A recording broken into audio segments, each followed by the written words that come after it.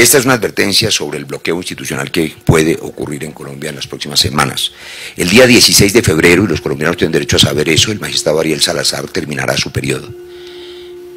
Saliendo este magistrado de la Corte Suprema de Justicia, el número de magistrados será de 15 y por tanto no habrá quórum.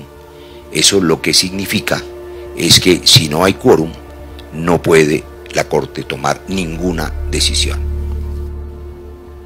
¿Qué puede ocurrir? Ninguna decisión sobre la suerte jurídica de ningún colombiano, ninguna decisión penal, ninguna. Si la Corte se bloquea ante la salida del último de los 16 magistrados para que queden solo 15, puede ocurrir que sectores radicales del uribismo al día siguiente trinarán. El país amaneció sin Corte Suprema de Justicia, el país amaneció sin fiscal general de la nación en propiedad, y un país que no tiene Corte Suprema y que no tiene fiscal general es un país en conmoción interior. Encontrarán la mejor de las disculpas para el tercer intento de declarar un estado de conmoción interior que puede derivar en una constituyente que ha sido clamada por sectores del uribismo, empezando por el dirigente máximo de ese partido, y que como ustedes recordarán, tiene el propósito de una corte única, un Congreso unicameral.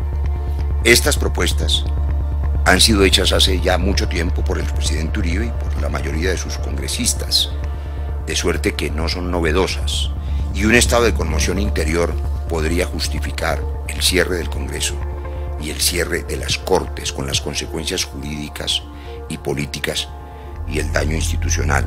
Este es un escenario extremo, por supuesto, pero es un escenario posible porque los sectores radicales del uribismo lo han sugerido y hay varios trinos de los dirigentes de ese partido clamando por la conmoción interior.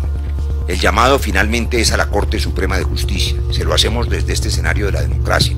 Solo la Corte Suprema de Justicia puede desbloquearse a sí misma, tomando las decisiones en los próximos días que debe tomar, eligiendo sus juntas directivas, llenando sus vacantes y eligiendo fiscal general de la nación es un ejercicio complejo porque necesita para cualquiera de esas decisiones unanimidad.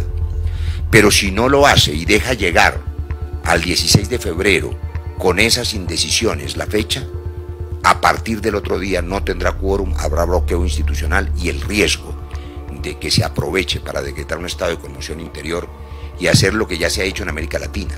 Eso se parece bastante al autogolpe de Fujimori. Puede resolver los problemas políticos y jurídicos de muchos de los implicados en esta coyuntura. Así que hacemos esa advertencia para que quede claro que el riesgo existe, que hay quienes lo están pensando en el partido de gobierno y sobre todo para que quede claro que la Corte Suprema es la que puede evitarlo, no dejando llegar la fecha 16 de febrero sin tomar decisiones.